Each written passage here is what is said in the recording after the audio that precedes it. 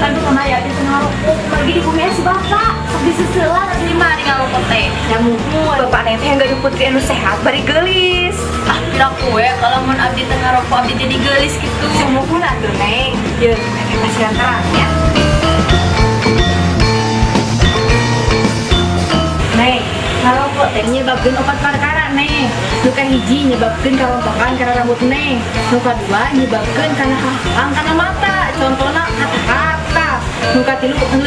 Leungit dedenguan legacang tibatan nu teu ngarokok nuka opatna ngejadikeun rusak kuntu jeung ngejadikeun bau bahan.